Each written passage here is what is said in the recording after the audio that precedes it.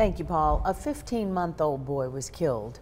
Police say his father accidentally ran over him in the driveway. And this happened last week in Cleveland. Today we learn more about what happened and how the family's loss impacts the entire police department. Here's Channel 3's Tanisha Cordell.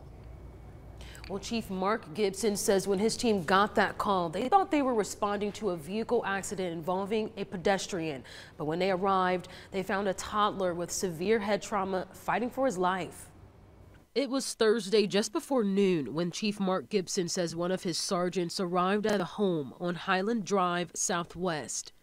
He's by himself and there's a lot of people in the parking lot. There's a lot of chaos. He doesn't know what's going on. All he knows is that he has a um, a, a, child that has very critical, serious injuries. Chief Gibson says the child was in the driveway when the father ran over him, causing severe head trauma. Chief Gibson says the child was unresponsive, so the sergeant performed CPR until EMS crews arrived four minutes later. I wish I could have taken them out of that situation. The 15 month old was transported to the hospital where he passed away.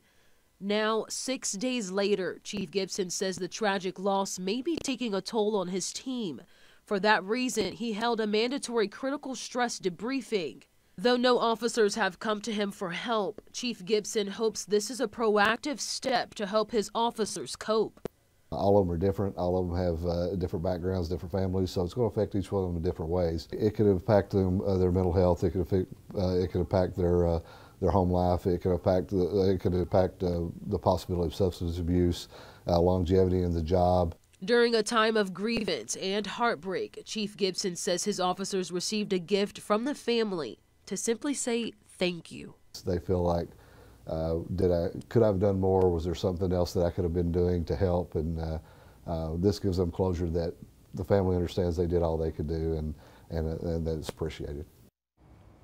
Well, the family held a funeral for the 15 month